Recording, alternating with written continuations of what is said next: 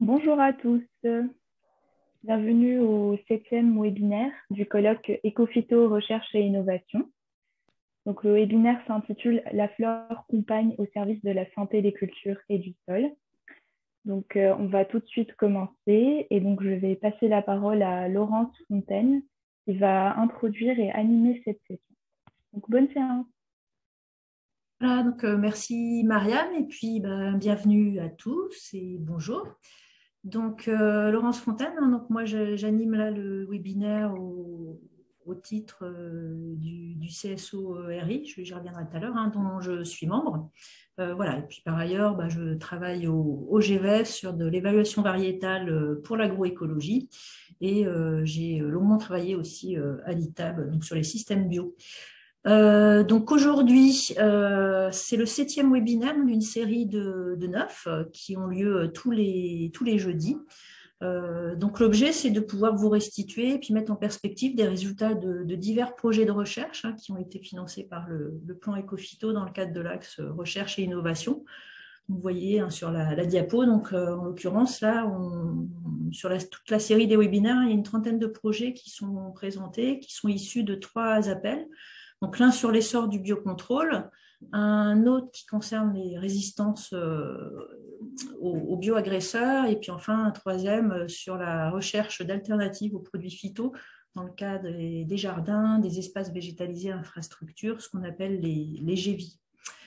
Euh, voilà, donc pour le, je vous ai dit que c'était organisé par le, l'axe, enfin c'était organisé dans le cadre de l'axe recherche et innovation du plan Ecofito. Donc c'est un, axe qui est copiloté par plusieurs ministères, hein, quatre, vous voyez là aussi. Donc euh, l'agriculture, euh, l'écologie, la santé et la recherche. Et donc euh, ben, l'ensemble des travaux hein, sont largement discutés par les membres du comité scientifique d'orientation recherche et innovation. On est 45 membres en tout, donc beaucoup de chercheurs, depuis euh, l'agriculture jusqu'à la, santé, et puis également des représentants euh, différents acteurs de la filière. donc l'objectif hein, de, cet axe et puis les travaux du comité, c'est de pouvoir produire ou améliorer, ou améliorer soit des connaissances, soit des outils qui peuvent aider à, atteindre ben, les objectifs des hein, donc réduire l'utilisation des, produits phyto et, les risques associés. Donc au total, c'est quand même 150 projets hein, qui ont été financés euh, jusqu'ici, labellisés et financés. Et donc dans ces webinaires, on, vous présente les résultats d'une trentaine d'entre eux. Et en l'occurrence, donc pour aujourd'hui, on est sur le thème de la flore compagne au service de la santé euh, des cultures et de la santé du sol. Euh, donc, on va donc, parler de flore compagne, hein, puisqu'on a de la flore spontanée hein, dans, les, dans les parcelles, ce qu'on appelle les, les, messicoles, mais il y a bah, quand même pas tant que ça. Donc, euh, c'est bien aussi de pouvoir faire de, euh, implanter directement de la flore compagne dans les parcelles ou autour, pour pouvoir augmenter la, biodiversité et, et, donc profiter de ces, de ces, de ces atouts. Euh, et donc, l'objectif, c'est pouvoir fournir des services euh, à l'agrosystème. Euh, donc, ces services, ça peut être la réduction hein, de, la pression des bioagresseurs, soit en, les éloignant, soit en attirant des auxiliaires pour, pour diminuer leur pression. ça peut être des services d'amélioration des caractéristiques du sol également. Euh, donc, en fait, ce qu'on va faire, c'est vous illustrer euh, cette euh, thématique de la flore campagne par, trois, projets là, qui vont vous être présentés. Donc, les deux premiers sont plutôt sur une stratégie de ce qu'on appelle la lutte par conservation. C'est-à-dire qu'on va essayer de favoriser les ennemis naturels des ravageurs en augmentant la biodiversité végétale. Et puis, on a un, troisième, alors j'y viendrai après. Donc, pour le projet Fleur, tout d'abord, hein, qui est porté par euh, l'Université de Rennes, euh, vous allez voir là, on va parler bah, d'implantation de, de, bandes fleuries à proximité de, cultures de céréales pour pouvoir réduire la, pression des, ennemis naturels. Euh, soit en, ayant une, donc, en constituant un refuge favorable aux arthropodes, prédateurs de, de, ces ennemis, et soit en attirant des parasitozoïdes. Et ça sera beaucoup mieux expliqué euh, juste après. On a également le projet Macro Plus, qui cette fois est plutôt dans le secteur maraîcher, hein, avec, pardon, mon. Euh, là, on parlera de, donc de lutte contre les, les de la tomate en favorisant la présence d'une punaise prédatrice grâce à la, culture, l'implantation de soucis. Et puis enfin, donc le troisième projet, là, on est sur une autre stratégie, cette fois euh, bah, plutôt de la désinfection des sols, hein, on appelle ça aussi de la fumigation. Euh, donc pour lutter contre des nématodes ou une bactérie responsable de flétrissement bactérien. Euh, voilà, avec des résultats vraiment intéressants par l'implantation de plantes de service en, culture précédente et ensuite des, mulches ou de l'enfouissement. De et donc, euh, ensuite, nous aurons donc Christophe Jarry, qui est directeur du Jardin Enchanté, euh, Airblay qui lui nous, donnera un, témoignage pour euh, bah, nous, faire un, retour d'expérience de sa part sur l'avantage de ces plantes de campagne. Voilà. Et on aura un dernier petit temps de, questions-réponses, selon ce qui restera, si vous avez beaucoup de questions pour les, les différents intervenants avant. Et puis donc, alors la diapo suivante, Et puis, euh, donc, pendant toutes les, vidéos, là, vous pourrez donc poser vos, questions dans l'outil dans euh, questions-réponses. Donc, euh, dans, Zoom, hein, si vous, allez dans la, bande du bas, hein, vous avez une partie chat discussion, mais aussi une, partie Q&R, donc questions-réponses. Donc, c'est là où vous pouvez poser vos questions aux intervenants. moi, j'essaierai de les noter, peut-être les rassembler, on verra lesquelles sont posées, et puis on, je les retranscrirai à, nos intervenants euh, après leur vidéo. Euh, voilà. Et si vous avez plutôt, bah, c'est écrit, hein, plutôt des questions techniques euh, dans le chat. Et voilà. Et là, donc, je tiens à remercier au passage donc Damien Corazzi hein, qui, gère la technique là, qui peut vous aider. Et puis Mariam Yalawi qui a participé à organiser ces webinaires pour la cellule d'animation du CSU. Voilà. Bah, pense qu'on peut passer à la première euh, vidéo.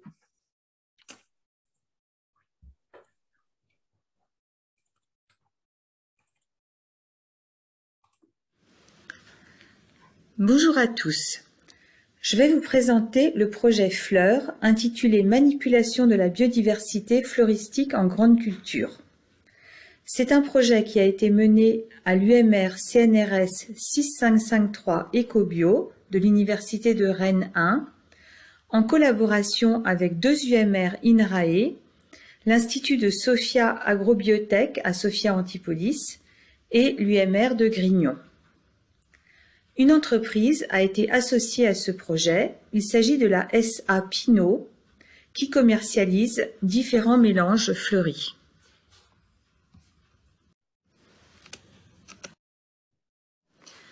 La lutte biologique par conservation consiste à aménager l'environnement autour des parcelles euh, cultivées de façon à favoriser les populations d'ennemis naturels des ravageurs des cultures. Nous avons travaillé en champ de céréales. Les objectifs du projet étaient tout d'abord de déterminer les espèces végétales à, à, assembler les plus efficaces pour favoriser les populations d'ennemis naturels et optimiser le service de régulation des insectes ravageurs. En effet, toutes les espèces de fleurs ne sont pas aussi intéressantes pour les insectes parasitoïdes, qui étaient les insectes que nous souhaitions favoriser dans ce projet, parce que certaines espèces de fleurs produisent un nectar de plus ou moins grande qualité et euh, certaines espèces de fleurs sont plus ou moins accessibles en termes de morphologie pour les insectes parasitoïdes. Le second objectif était d'expérimenter différents mélanges de fleurs dans les champs et le troisième de définir les risques liés à ces apports floraux pour les cultures voisines. En effet, si le mélange fleuri peut être favorable à une culture particulière parce qu'il est composé d'espèces, par exemple de familles phylogénétiquement différentes de la plante cultivée, euh, ce n'est pas forcément le cas pour les cultures voisines et il s'agissait donc de déterminer euh, quelles espèces d'insectes potentiellement ravageurs pouvaient coloniser ces bandes fleuries. L'originalité, c'est que notre projet a été mené en automne-hiver euh, parce que c'est la saison à laquelle les pucerons de céréales transmettent les virus de la jaunisse tanisante de l'orge. Ces virus sont transmis principalement quand le blé est juste levé et donc encore très sensible. Et c'est aussi la phase où les, pucerons arrivent sur les champs de céréales, dans les vols automnaux, hivernaux, et car les fleurs fleurissent maintenant en hiver en, Bretagne, euh, suite au réchauffement climatique, les hivers sont de plus en plus doux et les fleurs peuvent euh, arriver euh, à l'état de floraison et y rester pendant tout l'hiver. Mais les réchauffements hivernaux font aussi que les populations de pucerons qui, ailés qui arrivent dans les champs se reproduisent maintenant toute l'année sur ces champs-là et donc tout l'hiver et elles deviennent de plus en plus abondantes.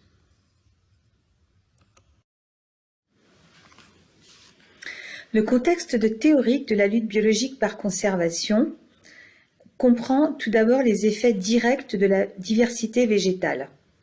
Donc si on augmente la biodiversité végétale dans un environnement, par exemple en ajoutant des bandes fleuries autour des champs, ces bandes fleuries vont constituer tout d'abord un habitat refuge face aux perturbations climatiques ou anthropiques dans nos champs de céréales.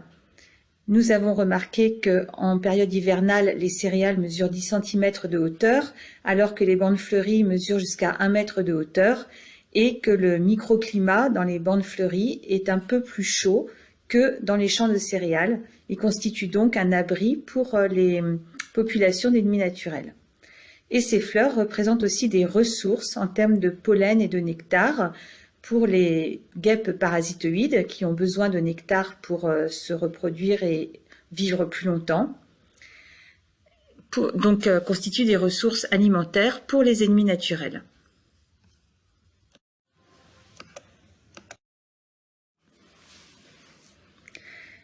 La lutte biologique par conservation a aussi des effets indirects dans ce cas, il s'agit du fait qu'il y a une plus grande diversité, une plus grande abondance de, des ennemis naturels. Et la diversité spécifique induit de la redondance fonctionnelle, c'est-à-dire par exemple qu'il y a plusieurs espèces de parasitoïdes qui seront disponibles pour s'attaquer aux ravageurs des cultures.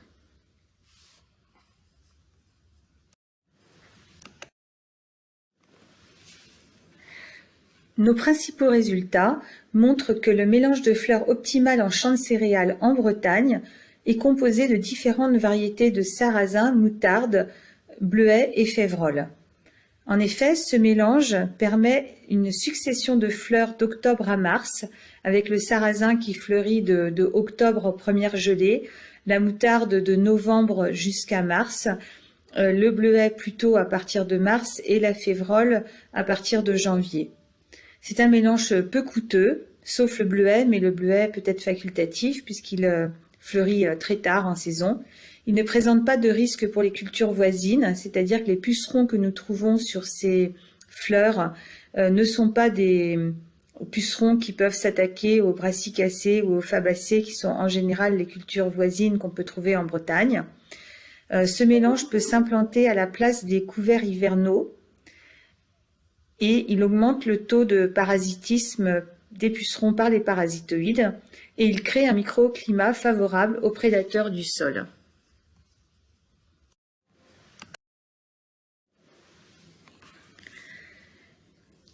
Nous avons travaillé pendant tout le projet sur les communautés hivernales de parasitoïdes, de pucerons et de prédateurs du sol. Nous avons montré que les communautés hivernales étaient beaucoup plus diverses en termes de nombre d'espèces qu'avant 2010, euh, donc des années pour lesquelles nous avions des données, en particulier parce que la plupart des espèces ne font plus de diapose en hiver. Et ça, que ce soit pour les pucerons, les prédateurs du sol et les parasitoïdes. Les communautés hivernales sont plus diverses, mais ce n'est pas lié à l'arrivée euh, de nouvelles espèces provenant du sud suite au changement climatique, euh, simplement, ce sont les espèces du printemps qui sont maintenant actives pendant toute l'année, donc hiver et printemps compris. Donc les communautés hivernales et printanières sont maintenant identiques. Et nous avons observé plus de 50 espèces de prédateurs du sol actives en hiver.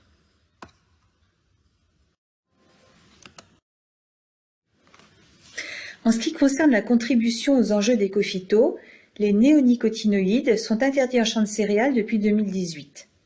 Or, le réchauffement hivernal est responsable de l'augmentation des populations de pucerons en automne-hiver et du développement d'une reproduction asexuée des pucerons tout l'hiver, augmentant les risques de transmission de la jaunisse nanisante de l'orge, qu'on appelle la JNO. Les ennemis naturels des pucerons, et en particulier les parasitoïdes, sont aussi actifs en hiver et survivent plus longtemps pondent plus, tuant plus de pucerons, s'ils ont accès à du nectar de fleurs pendant leur vie. Donc ce qu'on met dans les bandes fleuries. Les prédateurs du sol sont aussi actifs en hiver et ont besoin de refuges microclimatiques pour résister aux coups de froid hivernaux. Donc les bandes fleuries peuvent constituer ces refuges hivernaux. Notre mélange a été testé en bande de 500 mètres carrés, donc 3 mètres x 170 mètres de long. Mais cependant, il pourrait être semé à beaucoup plus large échelle, car dans la mosaïque paysagère bretonne, il y a des champs de maïs et des champs de blé, et l'emplacement des champs de maïs est occupé par des couverts hivernaux de septembre à mars, ce qui pourrait avoir un impact à l'échelle du paysage si des bandes fleuries étaient implantées dans ces couverts hivernaux.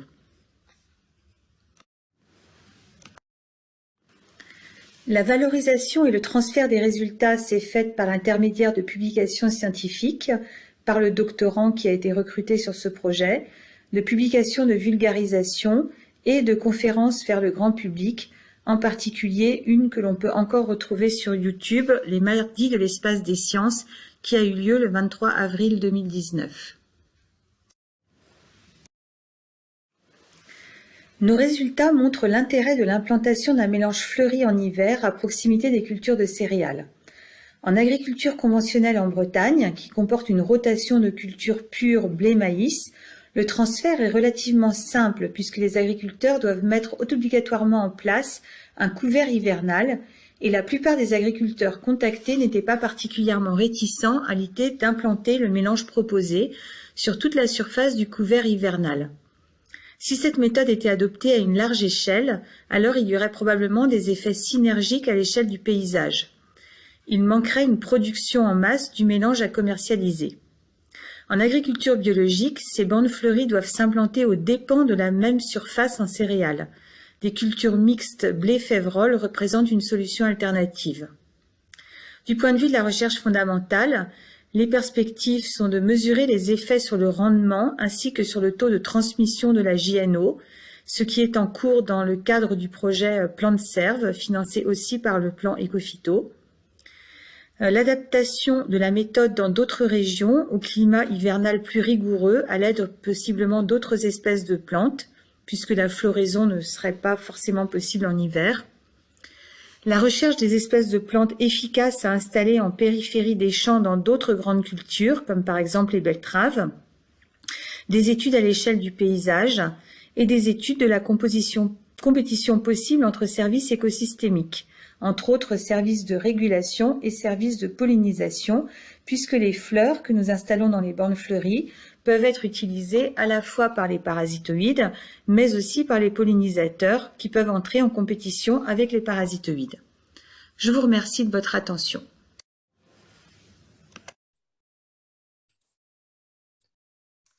Euh, merci Joanne. Donc si, ben, si tu veux bien mettre ta, vidéo, s'il te plaît, comme ça on va passer aux, questions. Alors, euh, ben, c'est parti là il n'y avait pas au début, mais euh, après, vous avez trouvé l'inspiration. Euh, peut-être par rapport à tes perspectives, je pense que tu as donné déjà des éléments de, réponse, mais j'avais euh, notamment donc François Varlop qui te demande si les conclusions sur les communautés d'insectes valent-elles ailleurs qu'en Bretagne? Partie répondu, mais vas-y, si tu veux bah, voilà, c'est ça. Euh, en fait, au, départ, en 2015, la première fois qu'on a mis des pièges pour les prédateurs du sol, euh, on, essayait de plutôt prouver qu'il n'y avait pas d'activité en hiver. C'est vrai qu'on a été extrêmement surpris de, trouver euh, plus de 50 espèces actives. Donc, on, a répété cette expérience-là autour de Rennes les années suivantes. On en a trouvé toujours autant. Et bah, en ce moment, on est en train de, de chercher en fait, sur un gradient entre la Bretagne et la République tchèque, euh, est-ce qu'on retrouve cette activité hivernale beaucoup plus dans les régions où les hivers sont plus rudes?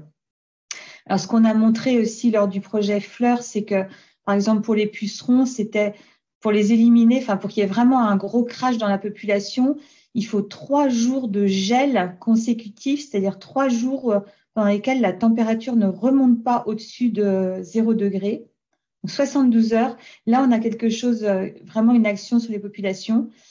Et en République tchèque, ils avaient montré que 24 euh, heures à moins 10 aussi, c'était pas extraordinaire pour eux. Enfin, ça commence à faire. Euh, et là, cet automne, on a été en République tchèque, on a trouvé beaucoup de pucerons. Et en ce moment même, je suis en Belgique sous la neige et je peux vous assurer qu'il y a beaucoup de pucerons et, des parasitoïdes aussi, enfin en tout cas des momies.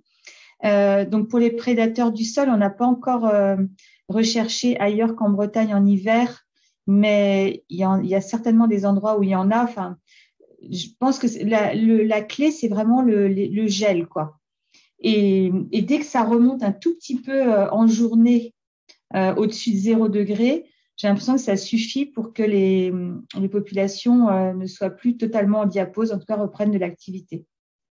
Ok, merci Joanne. En fait, tu as des réponses très complètes. Donc là, je ne vais pas réussir à te poser toutes les questions qui arrivent. Je pense qu'on pourra, elles seront transmises et puis Joanne pourra vous répondre aussi peut-être par, par mail dans la mesure du possible. Euh, peut-être plutôt alors là sur les surfaces. Donc là aussi, tu as, as, en partie répondu, mais euh, euh, Xavier Rebout, donc, qui préside le, le CSORI, demande si les surfaces consacrées à l'installation des bandes fleuries sont plus que compensées par des bénéfices dans la conduite des cultures voisines. donc là, tu nous as fait la différence entre le bio et conventionnel. voilà, il n'y a, a, que en bio où ça prend réellement de la surface. Euh, par contre, nous, on n'a pas été jusqu'au rendement, quoi. Mmh. Euh, parce que le problème, c'est que le rendement, il n'est pas lié que à, euh, bon, à, un petit épisode de ce qui se passe l'hiver. Il peut y avoir un événement météo au mois d'avril ou quelque chose d'autre qui, qui modifie le rendement et c'est impossible de savoir si c'est vraiment lié à la bande fleurie. Alors, on essaye de faire dans, dans, le nouveau projet là euh, qu'on a en ce moment des au moins des poids de 1000 grains, enfin des petites choses comme ça du côté bande fleurie et de l'autre côté. Mais enfin, je pense que c'est c'est une méthode qui, aura du succès si on la fait euh, quand même sur une grande échelle. Si par exemple euh, sur euh, l'ensemble des couverts hivernaux, là où ça coûte pas cher de, faire cette méthode-là, on avait on avait des fleurs un petit peu partout, à l'échelle du paysage, ça pourrait réellement bah, tuer la population de pucerons au tout début de son développement et être efficace. Là, les bandes, c'est quand même, c'est pour montrer que ça a un effet à courte distance, mais je ne pense pas que ce soit suffisant en soi. Alors, après, elle a des questions peut-être un petit peu plus techniques euh, sur, euh, je te les mets ensemble. Donc, Julie Cadeau qui demande quand a lieu le semis de la blande fleurie. Euh, Axel Olivier qui demande s'il n'y a pas de ravageurs des crucifères qui sont attirés par la moutarde, type altise, trois petits points. Et également, toujours sur le semis, là, euh, donc, les Axel Olivier, quelle facilité de semis entre les petites graines et les grosses graines? Alors, on a, on a ce problème-là. Donc, euh, le semis, ben, il est fait fin août, début septembre. Alors, effectivement, il faut semer euh, à part euh, les, la févrole et puis les petites graines. Donc, il faut passer deux fois. Ça, c'est un petit souci. Euh, les, il y a, on a testé toutes les espèces de pucerons qui avaient dans, attirés par les bandes. Donc, effectivement, eh bien, ce mélange-là, ça marche en Bretagne parce qu'il y a blé maïs et donc euh, les pucerons des crucifères, là, ça va pas trop aller sur les autres cultures. C'est pas un mélange que je conseillerais à côté des betteraves, par exemple, ou du colza, quoi. Il faudrait retirer la moutarde dans, dans, dans ces cas-là. C'est pour ça que je pense que c'est une méthode qui est intéressante, mais qui est euh, chirurgicale, c'est-à-dire qu'on va pas mettre n'importe quel euh, mélange de fleurs n'importe où en France, dans n'importe quel climat et dans n'importe quel contexte paysager. Mhm. Mais on peut remplacer par d'autres d'autres plantes aussi. Euh, la moutarde, c'est vrai que ça attire beaucoup les parasitoïdes euh, avec la couleur jaune. Donc, c'est-à-dire qu'il faudrait trouver quelque chose d'autre avec la couleur jaune. Ou je ne sais pas si on veut mettre euh, genre des, des petites euh, des petits cartons jaunes pour euh, les attirer vers les vers les fleurs ou quelque chose comme ça. C'est le tout début pour moi de, de ce genre de recherche. Mhm. Ok. Euh, alors, je vois l'heure et je pense qu'il faut qu'on passe au. projet suivant. Donc, je, suis désolée pour les questions qui sont arrivées là, mais euh, oui, donc bah, Joanne, je pense qu'il y aura accès. Tu peux répondre en direct encore là maintenant ou ça ne se fait pas? Je ne sais pas si euh, Mariam, tu, nous dis si on peut en. 13h55. Alors oui, on, on a fini. Non, mais par contre, euh, Joanne, euh, vous pouvez répondre en fait à l'écrit euh, sur le QNR si vous voulez. Oui, tout à fait. Merci à tous. Merci à, oui, à tous. Et puis, donc, on passe maintenant ben, au, projet euh, Macro Plus géré par le GRAB. Voilà, la vidéo. Et ensuite, Jérôme qui est là pour répondre aux questions. Bonjour vais vous présenter le projet MacroPlus qui a été lauréat de l'appel à projet Ecophyto PSPE2. MacroPlus regroupe plusieurs stations d'expérimentation, le GRAB, la Sérail, la Prel, qui sont plutôt situées dans le sud de la France, l'INRAE d'Alenia, près de Perpignan, et la Chambre d'agriculture des Bouches-du-Rhône. MacroPlus euh, vise à travailler des techniques pour renforcer l'installation de Macrolophus pygmeus. En maraîchage sous abri, les ravageurs sont problématiques et engendrent souvent des pertes de récoltes, tant en termes de quantité que de qualité. On fait aussi face, en maraîchage sous abri, à l'arrivée de nombreux ravageurs exotiques comme Tuta absoluta. La lutte biologique est un levier pour gérer ces ravageurs, mais euh, représente un coût important pour les producteurs avec encore quelques échecs. L'objectif de MacroPlus était d'obtenir Macrolophus, donc qui est un, prédateur d'aleurodes, de tuta et d'acariens tétraniques, un prédateur assez polyphage, donc obtenir cet auxiliaire en nombre important, à un coût réduit et de façon précoce dans les abris. On voulait aussi travailler euh, sur des, leviers qui nous permettent de favoriser la présence de punaises prédatrices indigènes, puisqu'on a la chance d'avoir Macrolophus de façon indigène euh, en France. Donc l'enjeu, c'était de travailler sur le gîte et le couvert pour favoriser cet auxiliaire, en forte interaction avec les producteurs, puisque c'était l'action 1 qui nous a permis, dans un premier temps, d'élaborer les stratégies en co-construction avec les producteurs. Donc, plusieurs dispositifs ont été mis en place, et là j'en présente quelques illustrations. Donc des semis à l'intérieur euh, d'abris, donc des semis euh, au pied de poteaux euh, de multichapelles, au pied de bâches plastiques sous des abris froids, des bandes fleuries semées à l'extérieur, et vous voyez un suivi sur plusieurs années, enfin sur plusieurs mois. Des plantations à l'intérieur des abris. Donc là, vous voyez sur un dispositif du grave. Et donc, on a essentiellement travaillé avec le souci officinal. Donc, on voit les fleurs euh, là. Donc, on a travaillé en comparant différentes modalités, notamment des bandes fleuries qui ont été plantées au pied des bâches plastiques euh, à l'automne précédent euh, la saison de, suivi, en comparant un tunnel avec la bande fleurie et sans bande fleurie. Donc, vous voyez là, avec la bande fleurie, les populations de Macrolophus en comparaison du même tunnel équivalent sans bande fleurie et, on voit qu'on a renforcé les populations de Macrolophus dans la culture de tomates. Et en parallèle, on a réussi à montrer que dans ces tunnels aménagés avec des bandes fleuries, on avait moins d'alerodes que dans le tunnel non aménagé. Contre, on s'est aussi rendu compte dans un essai de la prêle, c'est qu'on faisait face à une certaine hétérogénéité. Donc là, vous avez figuré euh, trois, courbes qui représentent trois tunnels un tunnel sans aménagement, un tunnel avec une bande fleurie d'un côté et un tunnel avec une bande fleurie des deux côtés. Et on voit les populations de Macrolophus sur les rangs et au fur et à mesure, euh, là sur le rang 3 et 4, on est au milieu du tunnel. Ce dont on se rend compte, c'est que sans bande fleurie, on a très peu de Macrolophus dans le tunnel. Donc là, c'était sur aubergine. Quand on a des soucis sur un côté du tunnel, on a des Macrolophus de façon plus importante du côté de la bande fleurie et quand on s'éloigne, et notamment à l'opposé, on a beaucoup moins de Macrolophus. Et quand on a les bandes fleuries situées de part et d'autre du tunnel, on voit que les populations sont plus importantes, mais toujours avec une certaine hétérogénéité, et notamment quand on s'éloigne des bandes fleuries. Donc ça nous a incité à travailler sur des mécanismes un peu plus proactifs, c'est-à-dire pas juste attendre que les macrolophus euh, se déplacent euh, spontanément de la bande fleurie euh, à la culture.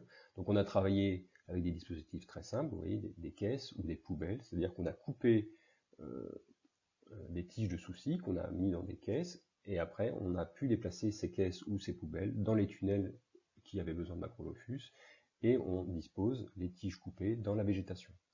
Ça implique au préalable qu'on a vérifié dans les soucis les populations de macrolophus pour ajuster les doses d'apport de soucis dans la culture, et pour cela, on s'est appuyé sur les références techniques qui concernent la lutte biologique et les lâchers d'auxiliaires macrolophus. On considère qu'il faut à peu près 2 macrolophus par mètre carré de culture. là, vous avez un essai sur tomates de l'après qui montre bien cela. Vous avez en gris et en jaune les stratégies classiques d'apport de macrolophus hein, en termes de, dose et, de date. Donc vous voyez les, populations qui s'installent et vous voyez là euh, les stratégies qui ont été mises en place, c'est-à-dire couper des tiges de soucis, on voit les tiges coupées, mises dans des caisses et après lâchées dans les cultures sur tomates et on voit que les populations de macrolophus sur ces tomates ont vraiment bien augmenté et de façon supérieure à ce qu'on peut observer euh, dans la, stratégie classique et donc avec des lâchers aussi beaucoup plus précoces euh, du 2 mars. On a aussi travaillé au GRAB et à l'INRA sur des stratégies de type plus plante relais, c'est-à-dire que euh, sur des vieilles cultures de tomates en train de sécher, on mettait en place des pots de soucis. Euh. Les macrolophus se transféraient d'eux-mêmes sur les pots de soucis. On conservait ces caisses en hiver dans, un coin de, tunnel. Et ces, caisses-là passent l'hiver et, donc servent à inoculer en macrolophus la culture suivante. Donc là, nous, on l'a fait sur des caisses, euh, l'a fait sur des pots. Si on regarde dans les essais d'INRA, un témoin sans souci, on voit qu'il y a quand même quelques macrolophus qui rentrent dans le tunnel avec des attaques d'alerone euh, relativement importantes. Et quand on augmente les doses de pots, c'est-à-dire là il y a 10 pots, là il y a 40 pots qu'ils ont introduits au début de la culture, on voit que bah, les populations de macrolophus augmentent, euh, plus que dans le témoin, et en parallèle les populations d'Alrod sont moins importantes que dans le témoin. Si on considère les enjeux des copitaux, ce projet a permis de mettre en évidence que les plantes de service et la biodiversité fonctionnelle constituent bien un nouveau levier euh, à intégrer dans les stratégies de gestion des ravageurs. C'est un levier qui doit être intégré à une stratégie globale et qui ne prétend pas exclure d'autres stratégies comme la lutte biologique. Il y a vraiment une complémentarité très forte entre les deux et euh, ces aménagements, les plantes de service, peuvent aussi fiabiliser la lutte biologique parce que dans un certain nombre d'essais, on a bien montré qu'on pouvait faire des lâchers d'auxiliaires achetés sur les bandes fleuries qu'on mettait en place. Mais tout ça contribue quand même à la baisse des coûts euh, de lâcher et donc à une meilleure performance économique chez les producteurs. Un des avantages importants aussi, c'est euh, la réactivité, c'est-à-dire que entre le moment où le ravageur est observé dans la culture et, le producteur décide de faire un lâcher, en cas d'élevage sur la ferme dans des bandes fleuries et de soucis notamment, la, décision et, le lâcher peuvent être réalisés euh, à quelques heures d'intervalle, alors qu'un lâcher classique, euh, voilà, il faut passer commande, il faut que la commande arrive, il faut aller récupérer la commande à la coopérative, donc il y a, un délai qui, induit pendant ce temps-là des, multiplications de ravageurs. Ça nous a aussi montré, ce projet, que euh, si on veut intégrer ces infrastructures agroécologiques sur les rotations, il faut réfléchir sur le choix des produits phytosanitaires tout au long de la rotation. Dans un des essais, on a eu des traitements phytosanitaires contre pulsion sur salade qui ont vraiment eu un effet très négatif sur nos macrolophus dans les soucis. Donc ça nous montre bien l'importance de réfléchir euh, le produit phytosanitaire le moins nocif possible, euh, mais sur l'ensemble des cultures. Pour l'instant, il n'y a pas d'incitation euh, des politiques publiques pour la mise en place d'infrastructures agroécologiques. C'est notre travail à nous de montrer l'efficacité au maraîcher pour l'instant. Et, c'est vraiment la preuve d'efficacité qui permettra la diffusion de ces approches-là dans différents contextes de production. Donc ce projet a donné lieu à une valorisation importante. Il y a eu beaucoup de présentations dans des colloques, des journées techniques, parce qu'effectivement c'était une des success stories pour la biodiversité fonctionnelle.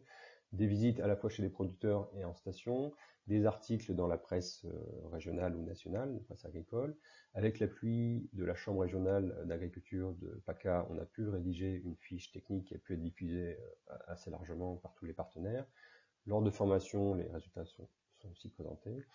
Et on a eu la chance d'avoir des producteurs euh, impliqués, à la fois dans les échanges au sein des comités de pilotage et, lors des visites.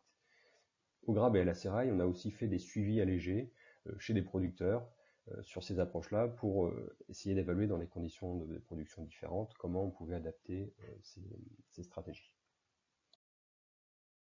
Donc en termes de perspective, on a réussi à montrer que euh, la biodiversité fonctionnelle pouvait apporter un vrai service aux, producteurs, euh, notamment en production maraîchère sous abri froid, notamment parce qu'elle euh, apportait une vraie efficacité en termes de régulation des alerodes et de l'amineuse de la tomate, tout à absoluta, qu'une analyse aussi technico-économique a été réalisée et a montré que les coûts d'implantation étaient plutôt inférieurs à des stratégies classiques de lutte biologique, donc des, des, stratégies pas plus coûteuses pour les producteurs et avec des efficacités intéressantes. Ce projet a aussi permis, avec nos interactions avec des techniciens des défis fermes ou d'agribio par exemple, d'accompagner des mises en place chez des producteurs dans d'autres régions. Et donc pour nous, c'était aussi euh, euh, un indicateur du, succès du projet de voir ces, stratégies déployées dans d'autres régions. Donc plus globalement, ce projet a contribué à, l'attractivité des plantes de service. Il faut signaler que dans la grande majorité des, défis, des, projets défis XP qui concernent la gestion des ravageurs, la biodiversité fonctionnelle est désormais intégrée euh, comme une composante importante des stratégies. Et, ce projet euh, a aussi permis d'initier d'autres projets, euh, notamment un projet que je porte, un projet défi XP Ecofito Cosinus, qui vise lui à intégrer les résultats de plusieurs projets qui concernaient la biodiversité fonctionnelle, dont MacroPlus, mais qui vise à travailler sur des échelles d'espace et de temps différents, puisqu'on travaille différentes cultures, différents ravageurs à l'échelle de l'exploitation dans, son intégralité.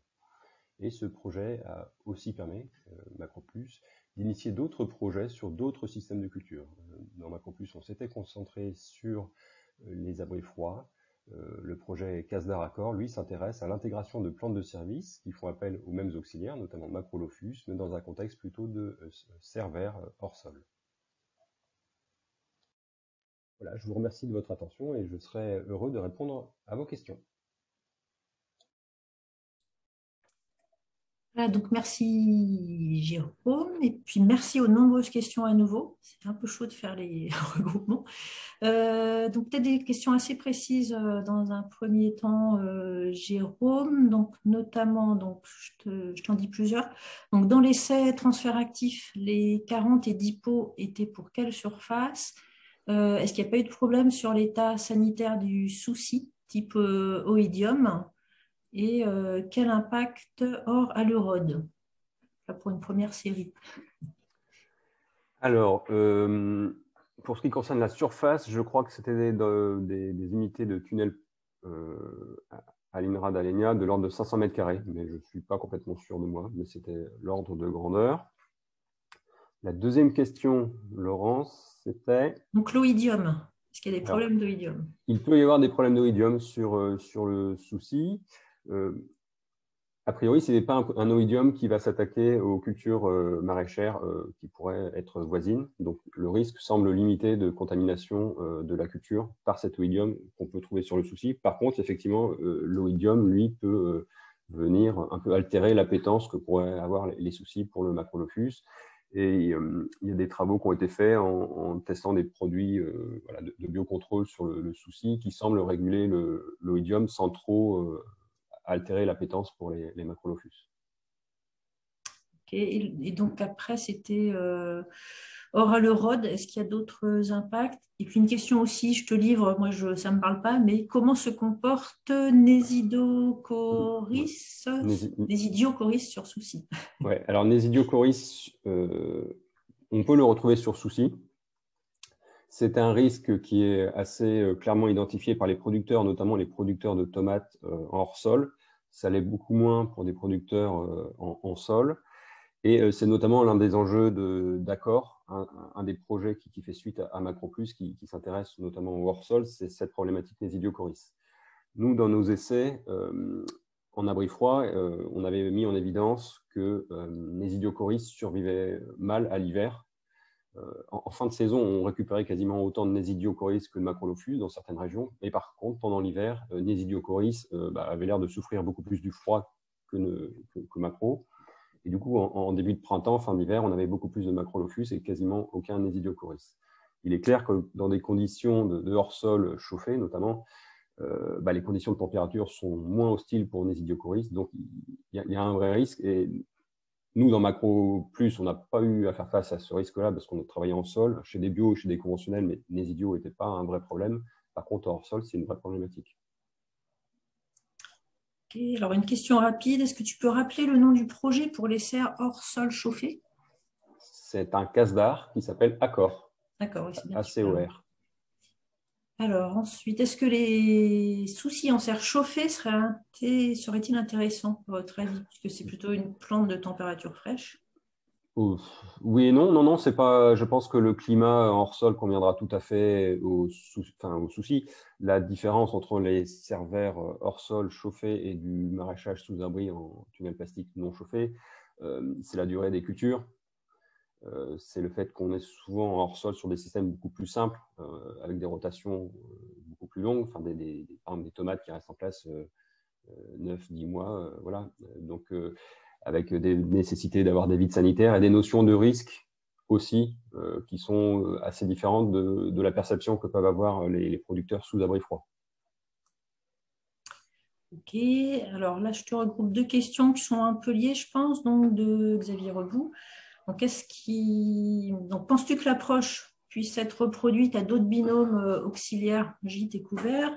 Et une question beaucoup plus large, euh, est-ce qu'il y a matière à rédaction d'un article à destination des scientifiques avec ce projet?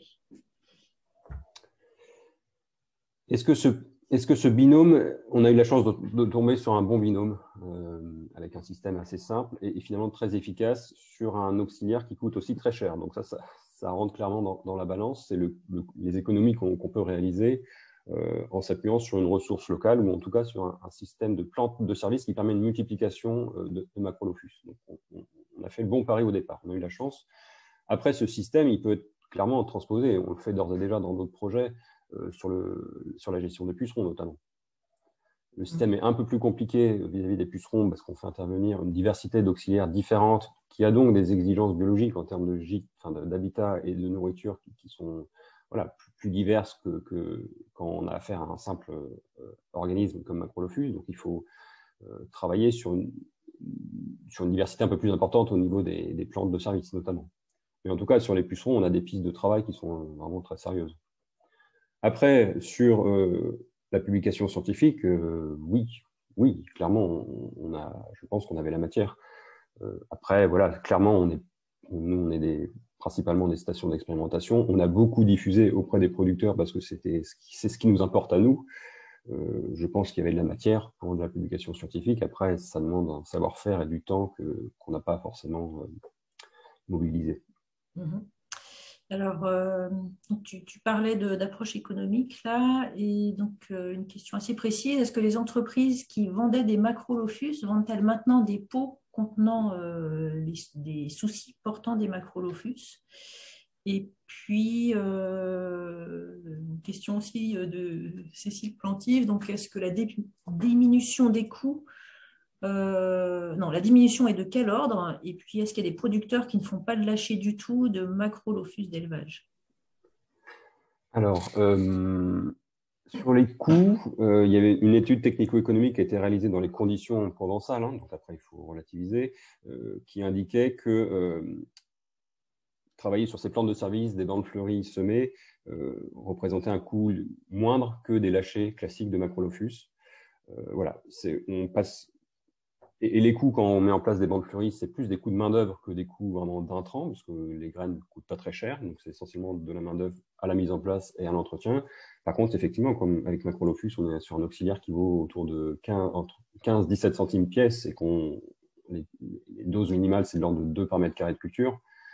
Euh, voilà, donc dès qu'on passe sur des stratégies classiques avec des lâchers euh, classiques, euh, on a sur des coûts plus importants.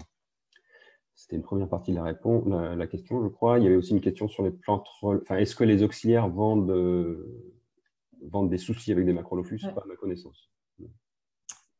Ok. Et effectivement, euh, la majorité des systèmes sont des systèmes où euh, il y a des plantes de service, en tout cas de ce qu'on observe chez les producteurs, des soucis et qui, mettent à contribution des, des macrolophus indigènes même si ça nous est arrivé de faire des lâchers de macrolophus achetés sur des molles fleuries semées. Il n'y a pas d'incompatibilité. Ok, ben, merci Jérôme pour les réponses et puis pour le, ce beau projet.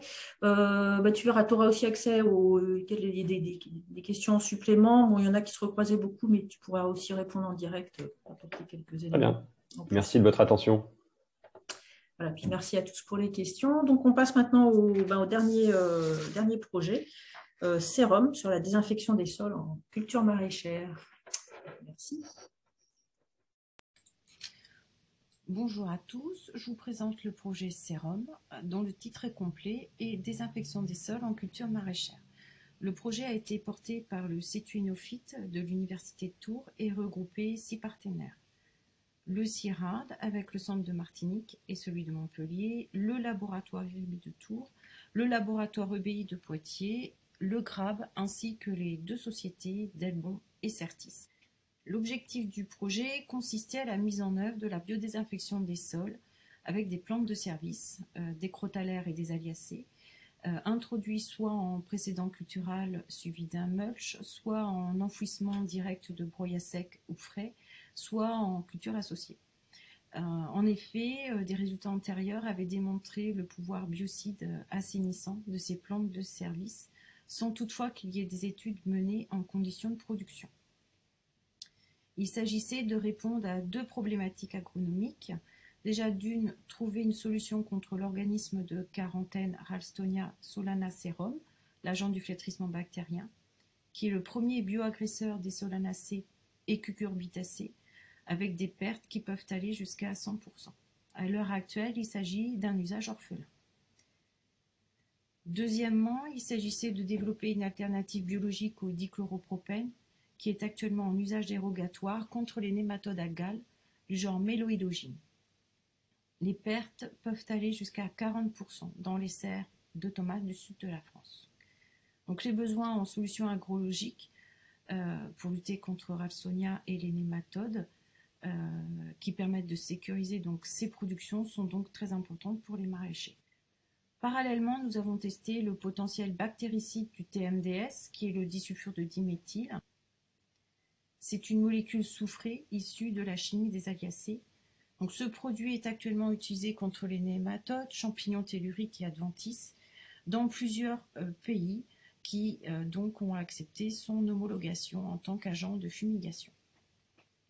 Donc, ces propriétés antibactériennes contre l'agent du flétrissement bactérien ont été explorées dans ce projet euh, pour répondre justement à un besoin urgent de sécurisation de la production de tomates aux Antilles.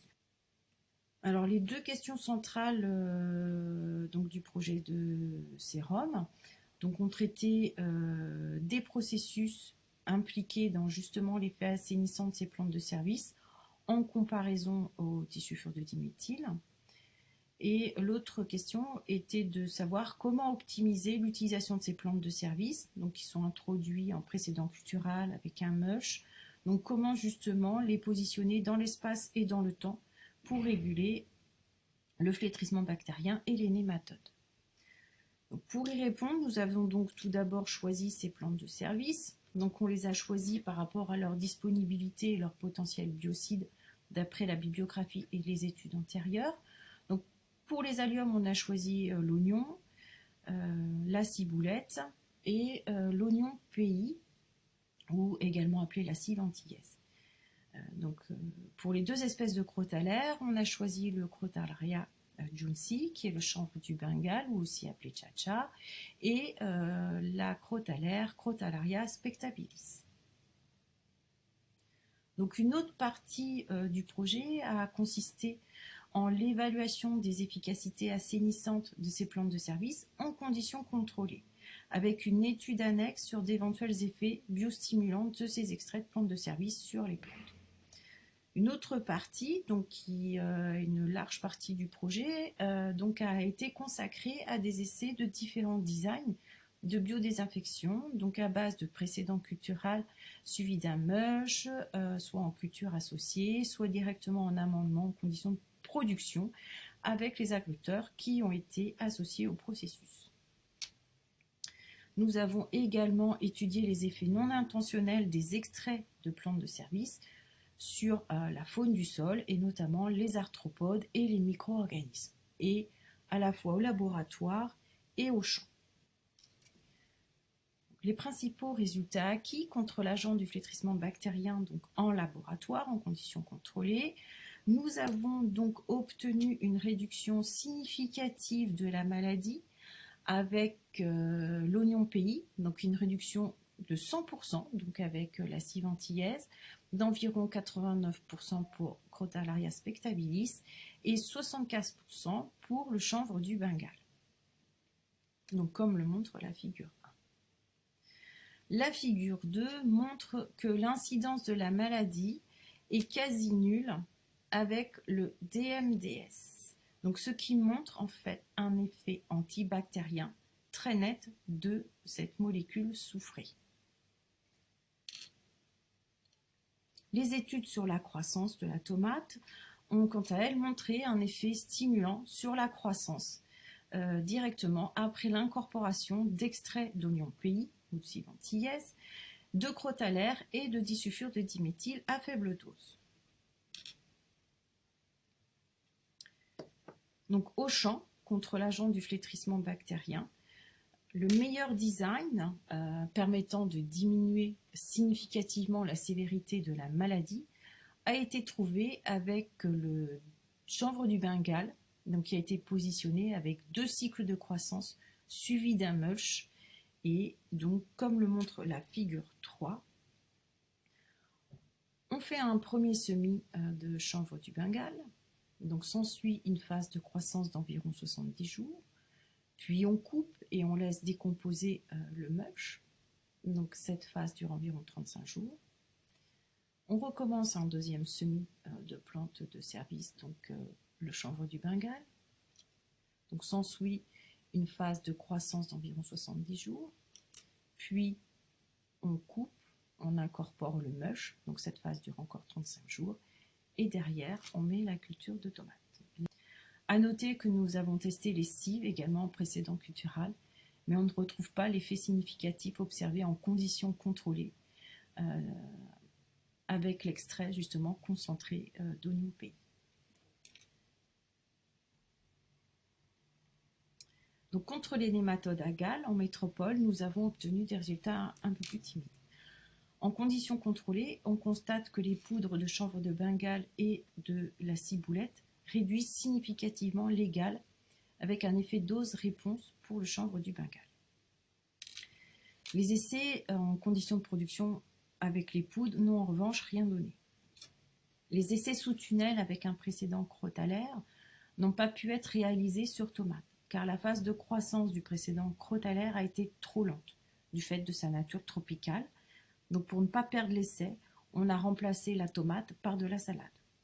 Et dans ce cas, nous avons constaté un effet significatif de réduction de gale de quand même 70% pour le chanvre du Bengale et de 56% pour Crotalaria spectabilis. Le projet a donc pu démontrer un intérêt des plantes de service, le chanvre du Bengale, l'oignon pays, la ciboulette, en biodésinfection des sols sur tomates dans différentes conditions, donc avec conditions contrôlées et conditions directement de production. ces alternatives constituent un intérêt pour Ecofito, car on a pu montrer que, que ces plantes de service en tout cas ne présentait pas d'effet non intentionnel sur les arthropodes, et stimule même la croissance de la tomate et stimule aussi les micro-organismes du sol. Concernant la mise en pratique, le développement d'une filière de production de formes sèches de chanvre du Bengale pourrait venir optimiser l'utilisation en conditions de production. Donc, le projet a mis en évidence également le caractère antibactérien du disulfure de diméthyle, ce qui pourrait constituer une méthode prometteuse contre cette bactérie pathogène en région tropicale et potentiellement invasive pour les climats tempérés.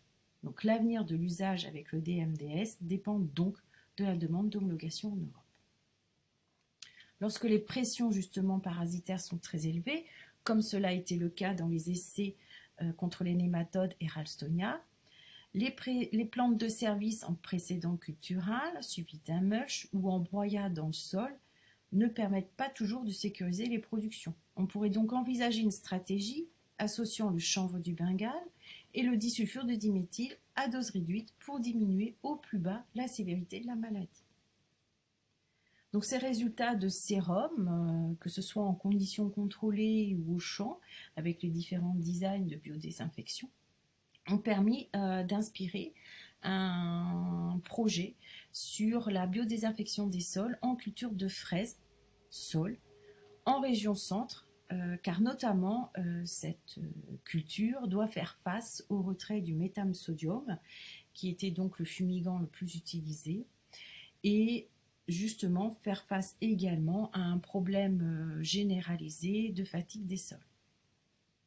Un dernier mot pour pour dire que je souhaite vivement remercier euh, l'ensemble des partenaires de ce projet, ainsi que les producteurs chez qui euh, on a fait les essais, et euh, donc ainsi et également le financeur.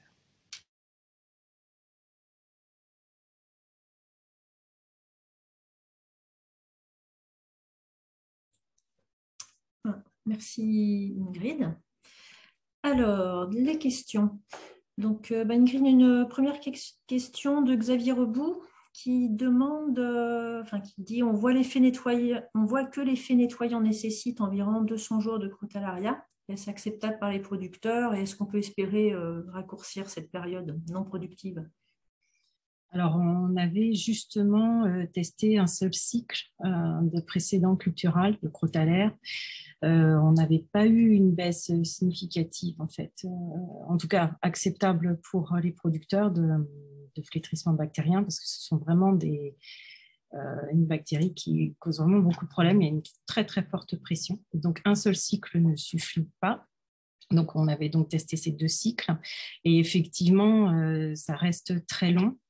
Alors, on avait euh, posé des questions, il y avait eu, j'en ai pas parlé, mais des études annexes un petit peu socio-économiques avec les producteurs, donc des, enquêtes qui ont été faites par euh, le CIRAD et euh, montrer qu'effectivement, on pourrait imaginer de mettre en place plutôt une sorte de production de crotalaire sèche, de forme sèche, pour pouvoir finalement venir optimiser cette, justement cette utilisation.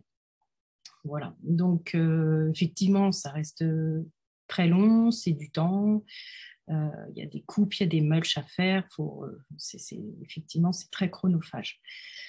Voilà, euh, on a eu le, problème aussi de, l'oignon pays qui avait montré des, résultats assez intéressants, mais qu'on ne pouvait pas valoriser mieux en, culture associée ou en précédent parce que justement l'oignon pays a une forte valeur ajoutée.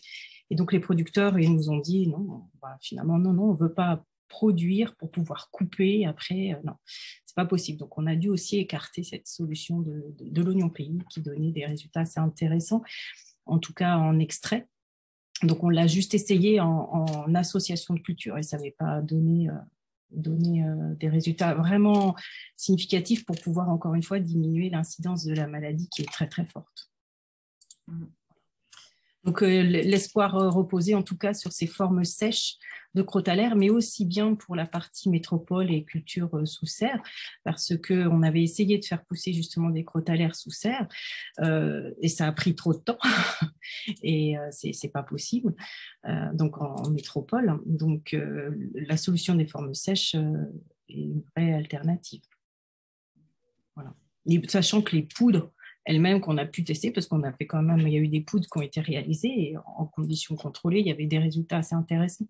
Ça donnait des effets dose-réponse assez intéressants sur euh, les, sur les gales. Voilà. Après, sur la partie, je vois le DMDS. Alors, le DMDS peut-il être un extrait naturel qui bénéficierait d'une homologation comme produit de biocontrôle La réponse, c'est non, parce que le, DMDS est effectivement une molécule issue du naturel, mais la molécule en tout cas, qui est commercialisée, elle, est synthétique. Donc, elle provient en fait euh, ben, de Arkema qui donc fabrique donc le disulfure de diméthyle, en tout cas avant pour d'autres usages, pour désinfecter les têtes de puits de pétrole. Mais euh, là, il est produit de façon synthétique. Voilà. Et la demande européenne, euh, alors c'est vrai, le DMDS, on avait fait une revue un peu globale. Le DMDS, c'est vrai que c'est un produit naturel qu'on retrouve dans dans l'environnement. Hein. On a du DMDS quand les algues se dégradent, on a du DMDS dans les odeurs. dès que ça sent un petit peu, il y a du DMDS en fait. C'est une odeur assez désagréable d'ailleurs, mais euh, il y a du, DMDS dans l'environnement. Et là, à l'heure actuelle, j'ai eu quelques nouvelles. Donc, il y a la demande européenne qui est toujours en cours et euh, qui est euh, assez, les, sont assez optimistes, je crois. sur euh, l'homologation, c'est ça? Mais pas en tant que produit biocontrôle. Pour le coup, on est vraiment sur un produit. Et vu les produits que tu citais là, euh, est-ce qu'il y a des recherches qui seraient dans les tuyaux pour justement pouvoir extraire le, faire un extrait naturel, comme disait Xavier, et non pas euh, sortir de cette problématique d'avoir une molécule de synthèse? euh, Pour faire des extraits, par exemple, de... De, DMDS, oui, donc à base de produits naturels le DMDS, on le retrouve euh, dans certains alliums sauvages, par exemple. On pourrait imaginer de sélectionner euh, des aliacés, ils sont surtout, surtout des aliacés, euh, non, je dis une bêtise, ornementaux. il y en a beaucoup. en fait, on a la présence du précurseur d'arôme qui conduit au DMDS. Et donc là, effectivement, on a une quantité plus importante de disulfure de diméthyle dans ces alliums ornementaux. On pourrait imaginer effectivement de sélectionner euh, des alliums riches en DMDS. Alors, il euh, faut voir aussi quelle est la reproduction euh, de ces alliums, parce que les alliums sont soit reproduction végétative, et là c'est plus compliqué si on veut de la production de masse, soit reproduction à bulbe. Donc nous, effectivement, on avait privilégié des aliacés disponibles à la fois pour la reproduction, parce que végétatif c'est plus long à avoir, donc, euh, on pourrait, oui, oui, on avait réfléchi à ça, effectivement, sélectionner des aliacés riches en disulfure de diméthyle, sachant aussi pour la petite histoire, chez les aliacés, euh, le disulfure de diméthyle est actif, mais euh, on a le disulfure de diallyle qu'on retrouve dans l'ail, qui est très actif aussi. On avait fait des, essais, en, enfin, en tout cas des biotests en conditions contrôlées. Dans un autre projet, il y a, une bonne activité du disulfure de diallyle qu'on retrouve beaucoup dans l'ail et dans des alliums sauvages. Et là aussi, l'ail est une reproduction plutôt végétative. Le disulfure de diméthyle, l'histoire, c'est vraiment parce que euh, il y avait eu un brevet qui avait été déposé sur le potentiel biocide de toutes les de, beaucoup de produits soufrés et euh, le disulfure de diméthyle était produit donc par à l'époque Atofina pour désinfecter les têtes de puits de pétrole. Donc, ça a été, parce qu'ils le produisaient en masse, que ça a été repris euh, dans un usage agro, enfin, euh, dans un, usage euh, et, agronomique.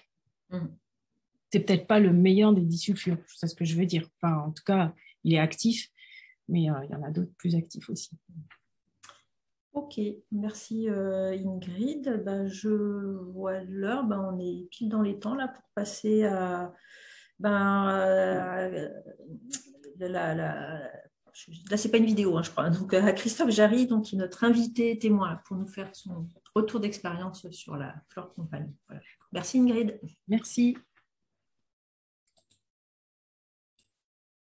Donc, euh, voilà, bonjour. Donc, euh, Christophe Jarry, je suis horticulteur en région parisienne. et puis, je vais vous présenter un peu ce qu'on a pu réaliser sur des cultures de chrysanthèmes avec euh, la mise en place de bandes fleuries et de plantes relais au sein d'une entreprise.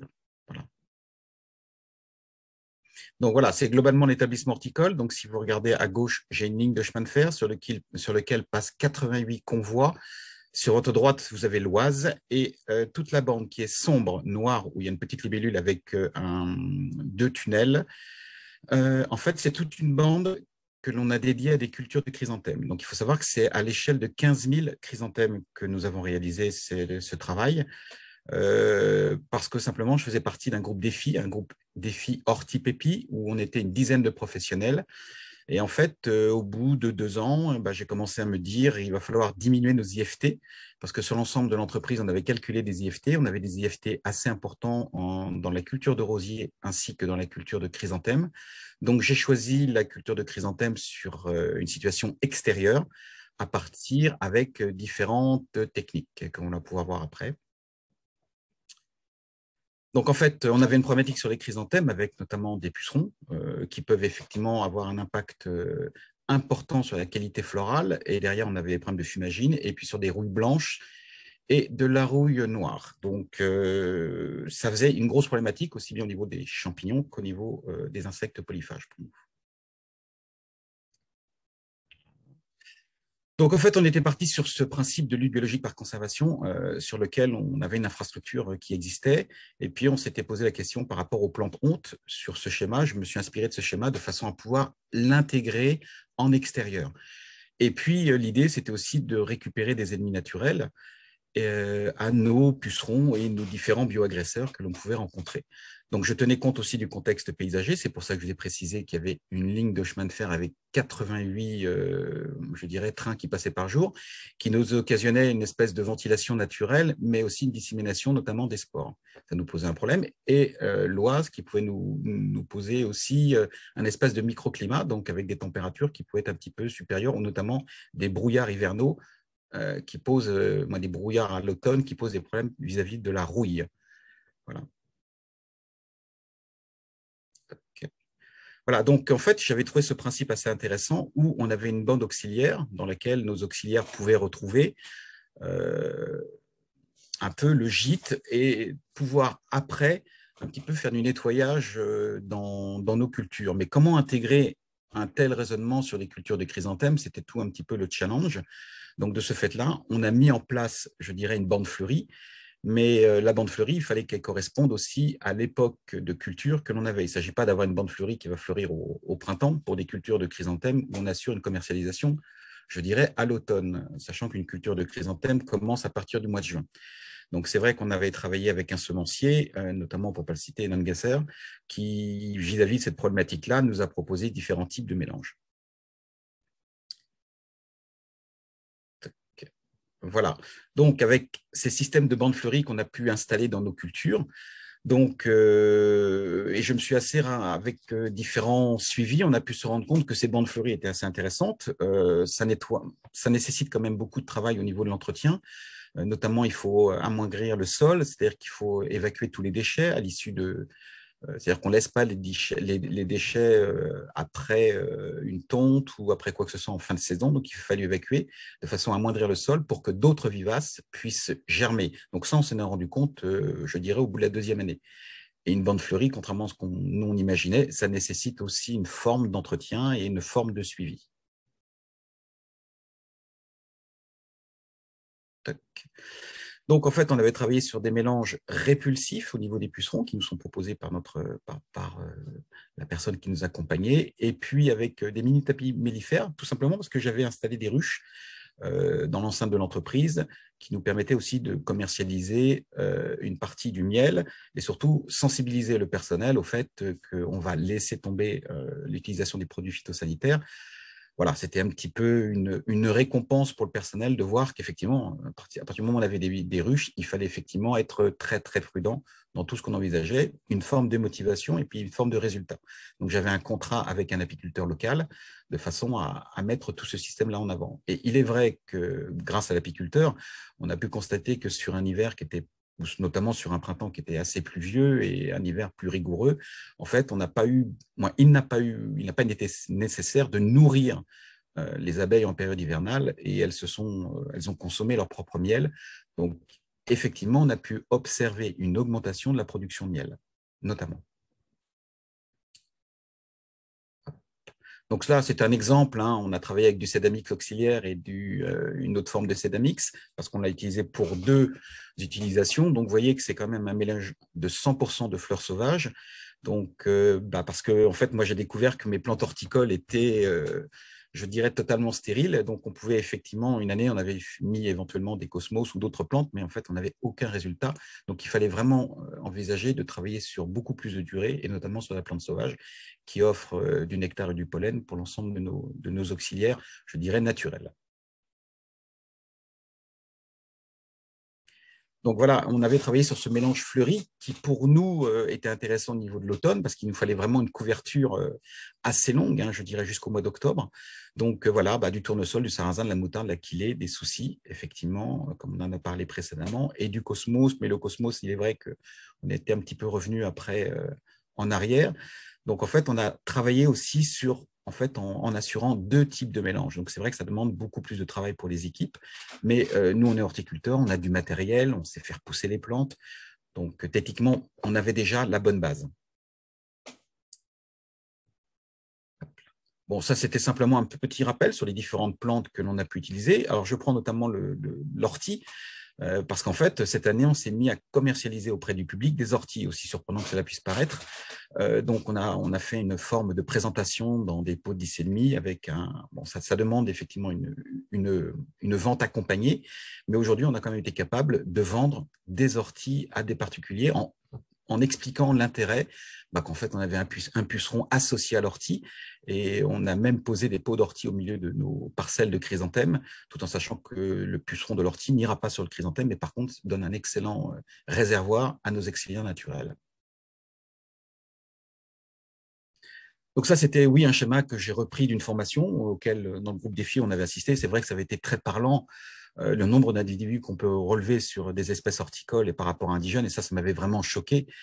Euh, même la responsabilité que nous, horticulteurs, on peut, on, peut, on peut avoir dans le respect de la biodiversité. On était complètement dans, dans ce domaine-là. Et c'est vrai que nous, on prend conscience de ça et on se met maintenant à, semer de la plante sauvage, à essayer de la commercialiser.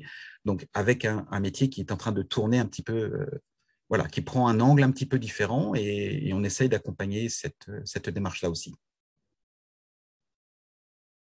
Donc voilà, par exemple, ce sont des types d'aménagements qu'on avait pu faire euh, en associant, en fait, malgré le métier d'horticulteur qu'on peut avoir, en associant des, plantes. Hein, euh, par exemple, au milieu des parcelles, on a fait aussi des tests sur des rosiers. Au milieu, on avait des problèmes sur des rosiers.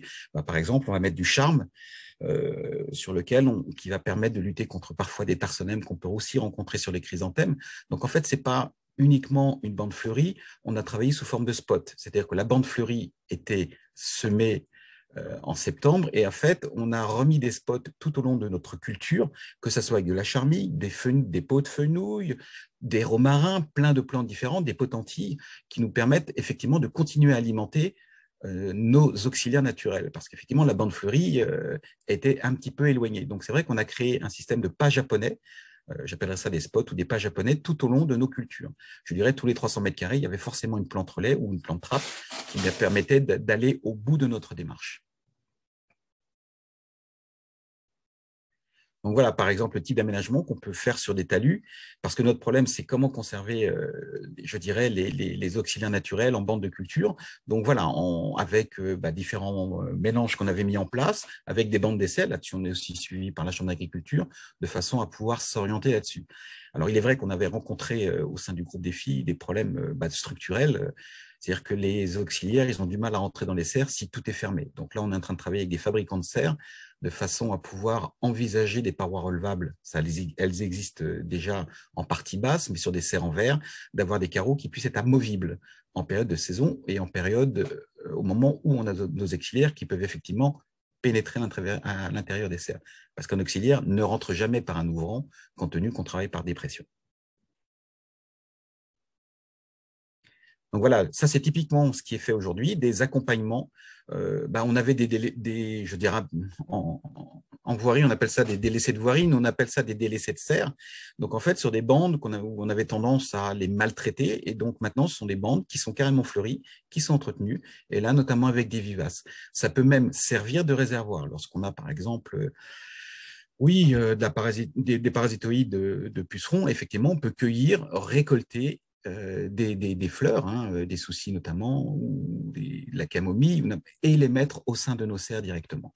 À partir du moment où on a une observation, vous pouvez observer une feuille de tabac qui est très efficace pour nous au niveau de la punaise orieuse notamment.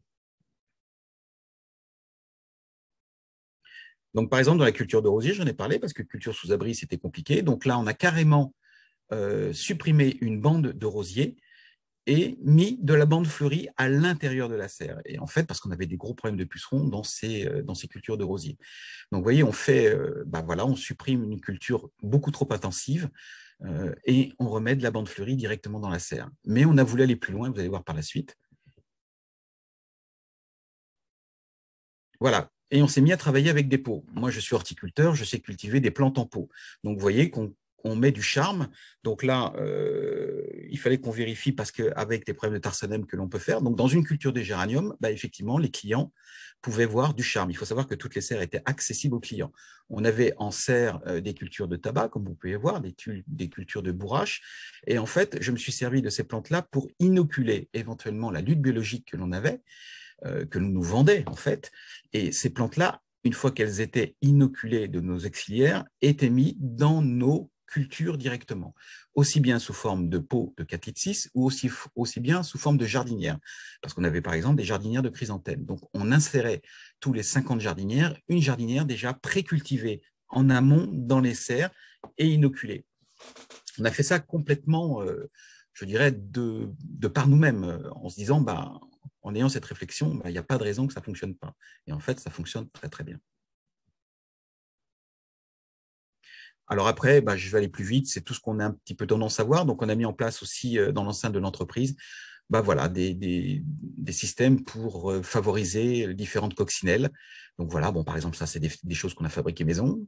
Donc là, on va aller plus vite parce que bon, c'est des choses que je pense que vous avez l'habitude de voir. Différents hôtels insectes, donc des hôtels insectes sur votre gauche qu'on avait pu acheter initialement. Puis en fait, on s'est dit, bon, on, est, on est aussi capable de les fabriquer. Alors l'hôtel insecte, bon, c'est vrai que tout le monde n'y trouve pas forcément son intérêt, mais au moins on a essayé de les installer. Ça permet aussi d'avoir un côté euh, très pédagogique auprès de la clientèle. Euh, ça interroge forcément, et puis au niveau euh, des salariés, bah, voilà, ça, les fait participer d'une façon active dans une démarche globale que l'on avait au sein de l'entreprise. Voilà, bah, c'est un exemple par rapport aux mésanges. C'est vrai qu'on a mis, en fait, dans chaque serre, il y a un nid à mésanges. Alors, ils ne sont pas habités systématiquement l'année, mais euh, on, s'aperçoit que globalement ça fonctionne, notamment euh, très efficace au niveau des pucerons pour nous. Les forfécules, ça, c'est parce qu'on a, fait un essai au cours d'une formation, on nous a dit pourquoi pas. Vous faites en fait votre prélevage de forfécules et puis vous pouvez déplacer au moment où vous avez un problème bien précis. Donc là, alors là, on a carrément été assez loin puisque euh, bah, au cours d'une rencontre avec une, association qui s'appelle Athéna, on a installé un nichoir, euh, ce que vous avez en bas, un nichoir à chouette. Parce qu'en fait, on avait des problèmes de mulot, de surmulot, de musaraigne, et on a installé des mâts, à, je dirais, à rapaces dans l'entreprise. Alors, le problème, c'est que ça fonctionne. Oui, on a trouvé les pelotes, mais ça fonctionne c'est des, oiseaux nocturnes, donc c'est vrai que la nuit, euh, on fait autre chose. Mais par contre, ça nous permet aussi de communiquer auprès de notre clientèle en leur expliquant quel est l'intérêt de tel, de tel mât. Donc ces mâts, il y avait à peu près, on a installé à peu près 7 8 mâts dans l'enceinte de l'entreprise. Voilà. Je crois que c'est fini. Voilà, voilà. Merci Christophe pour cette euh, présentation. C'est vraiment intéressant hein, la gestion dans le temps, dans l'espace. Euh, alors, on a quelques questions. Donc, sur les, bah, sur les bandes directement déjà, donc elles font quelle dimension? Et une autre personne qui demande euh, est-ce que vous pouvez expliquer comment vous avez mis en place et géré les bandes fleuries, faux semis, désherbage, irrigation? Voilà, donc les bandes, en fait, euh, c'est très peu large. Elle fait à peu près une cinquantaine de mètres sur 10 mètres de long. D'accord? Et euh, en fait, on a découvert au fur et à mesure, donc on l'a agrandi au fur et à mesure parce qu'on avait l'impression au niveau des relevés qu'il y avait une population d'auxiliaires qui n'était pas suffisante. Mais euh, la bande fleurie n'est qu'une partie du travail. Euh, on ne peut pas dissocier la bande fleurie des spots ou des pas japonais qu'on en a pu installer ou des différents aménagements qu'on envisage d'installer, puisqu'on va passer sur des haies. La bande fleurie n'est qu'un élément d'un raisonnement global dans une enceinte d'entreprise en fonction du paysage et en fonction de tout ce que l'on a. Donc au niveau de l'entretien, euh, globalement, c'est un fauchage en fin d'année. Donc ça, c'est un petit peu quand on a le temps aussi. Mais ce qui est important, c'est d'évacuer les déchets. Il ne s'agit pas d'enrichir le sol. Lorsqu'on enrichit le sol, effectivement, on va finir par tomber sur, euh, je dirais, des vivaces qui sont les plus gourmands en matière organique. Donc on avait décidé d'amoindrir le sol de façon à permettre des levées beaucoup plus tardives de certaines vivaces. Euh, et parallèlement, on a rajouté euh, des semis d'annuels.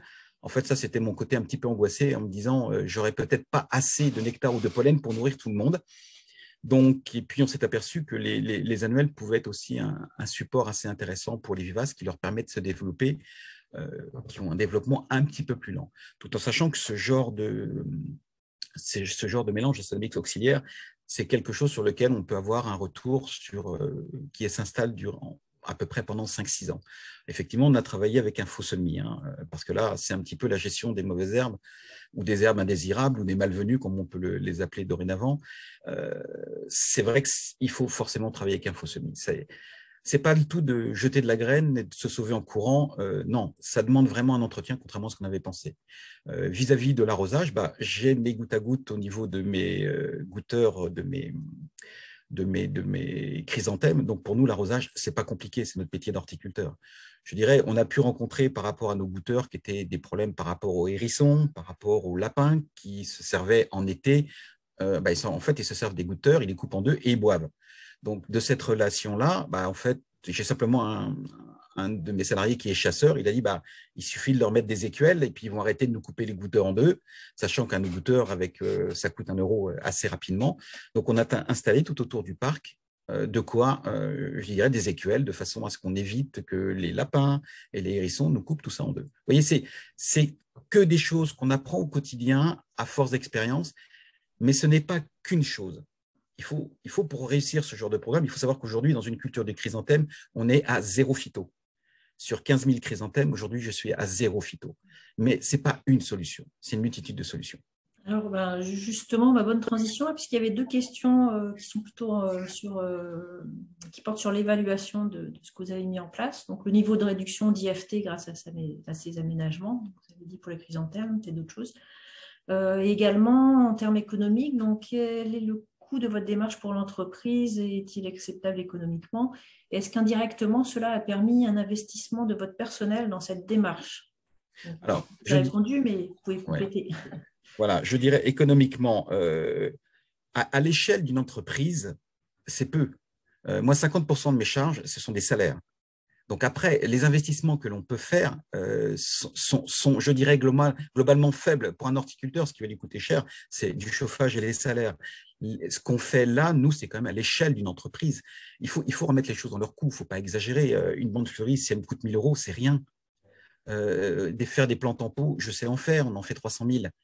Vous voyez, donc euh, rajouter 300 plantes sur 300 000, ce n'est pas un impact économique. Par contre, c'est une véritable philosophie et ça se permet surtout, il faut entraîner son personnel avec. Donc, ça demande de relever le niveau compétence de l'entreprise. Ça demande d'envoyer les gens en formation. Donc, plus vous relevez le niveau de compétence de l'entreprise et puis euh, plus votre personnel est intéressé à votre démarche. Puis vous savez, aujourd'hui, vous leur dites, euh, on sort plus la sulfateuse, comme ils l'appellent, on arrête d'utiliser le pulvérisateur et puis on va se trouver des solutions autres ils sont tous adhérents à ce genre de problème-là. Aujourd'hui, on est en train de travailler sur les IFT des rosiers, euh, parce qu'on a encore un problème. Le rosier sous abri, c'est très compliqué.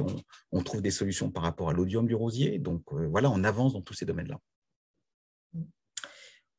Donc, euh, bah, merci Christophe. Merci beaucoup. oui, je vois. Ben, ce que je vous propose maintenant, c'est peut-être les Ingrid, Jérôme et Juan de rallumer votre, votre vidéo pour euh, bah, un dernier euh, round là jusqu'à jusqu'à la fin. Euh, donc par rapport à ce que vous nous avez présenté les uns les autres, j'avais envie de vous soumettre une nouvelle question là, à partager une espèce de mini table ronde.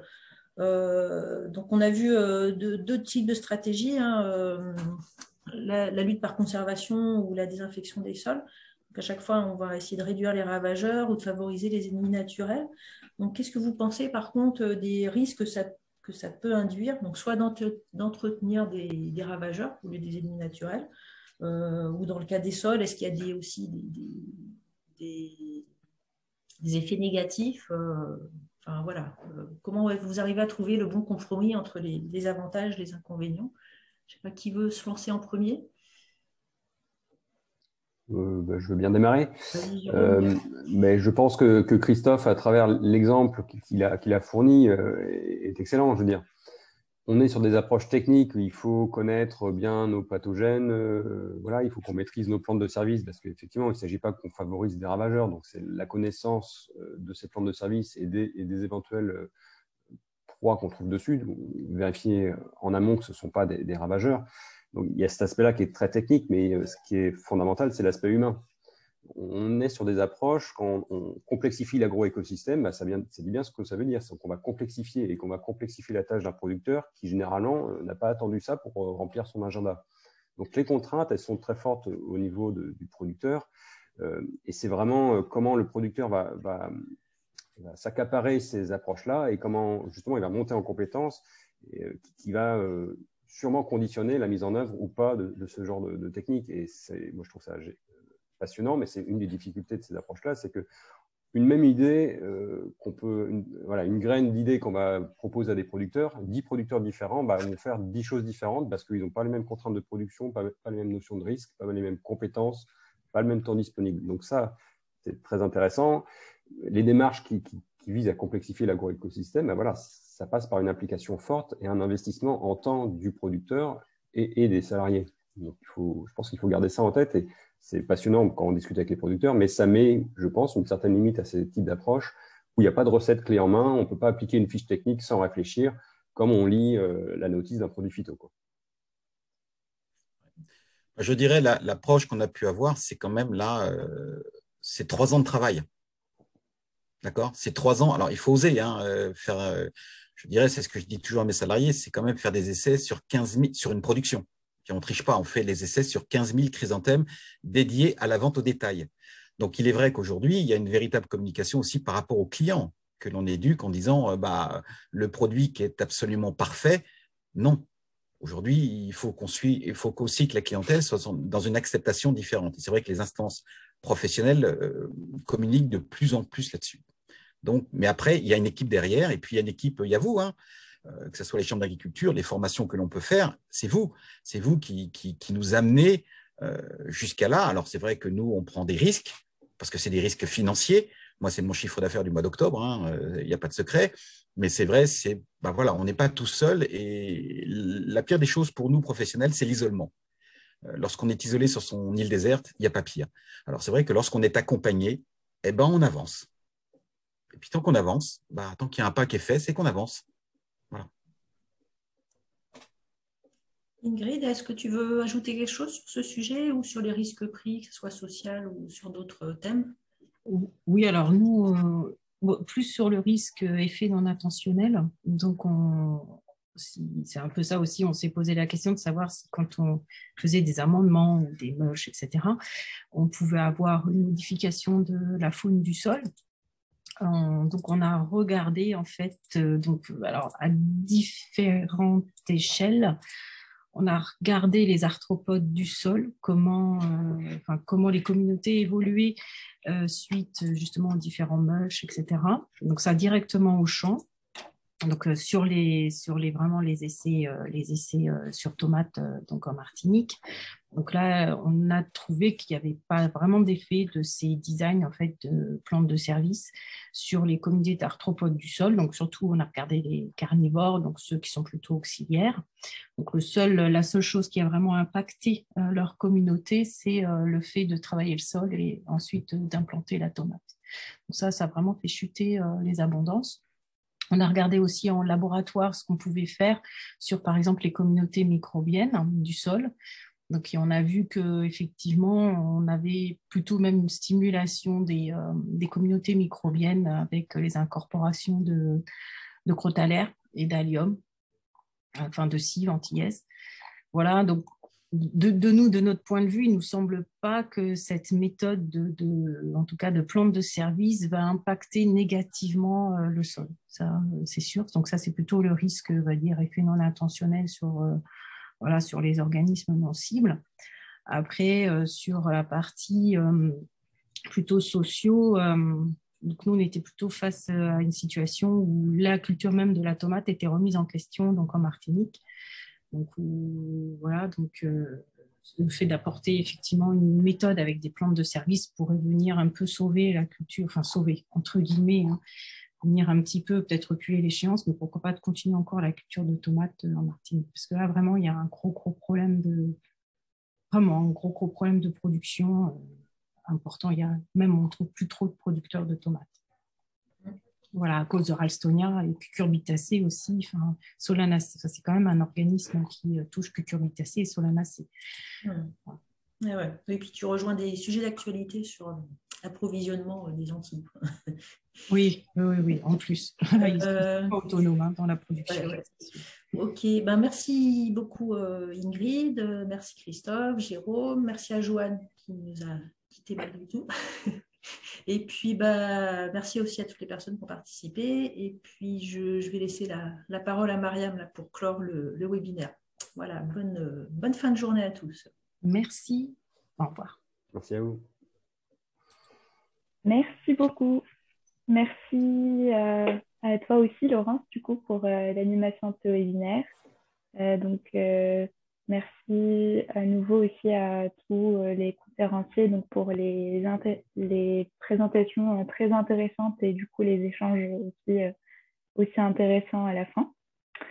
Donc, en fait, pour rappel, on a des ressources en fait euh, de ce colloque qui sont publiées en ligne. Donc euh, d'abord, vous pouvez retrouver et consulter le programme euh, du colloque donc sur le site web du colloque. Vous pouvez aussi retrouver les brochures des webinaires ainsi que les vidéos enregistrées des webinaires en ligne, donc sur le site Ecophytopic et aussi sur la chaîne YouTube dédiée. Donc je vais mettre les les liens sur le chat. Voilà. Et enfin, donc, euh, diapo suivante. Euh, donc, on vous donne rendez-vous euh, la semaine prochaine donc pour le huitième webinaire qui portera sur un autre thème. Donc, c'est les, itinéraires techniques vers le zéro phyto. Dans ce webinaire, on aura quatre projets qui seront présentés. Le projet REGPUC sur les stratégies d'irrigation et de fertilisation pour réguler les populations de pucerons verts en verger de pêcher. Éco-verger qui porte aussi sur les vergers, donc les itinéraires techniques euh, économes en pesticides, euh, donc plutôt sur euh, pêcher et manguier. Ensuite, on a aussi donc le projet Altercol, donc, euh, qui est plutôt donc, euh, sur les itinéraires techniques, euh, donc les pratiques alternatives dans les jardins collectifs. Et enfin, le projet Biocoup, qui concerne donc les vignes. Donc, c'est les stratégies de lutte biologique contre la maladie du cournouet de la vigne. On aura aussi donc un invité témoin, qui est donc Thierry Goujon, qui va donc nous parler des itinéraires techniques qui sont mis en place euh, par sa coopérative, sur Culture de l'Inde. Voilà, donc euh, merci encore à tous euh, pour vos présentations et merci aux participants aussi pour leur participation et aussi pour toutes les questions qui ont été posées. Donc voilà, je vous dis au revoir et à la semaine prochaine.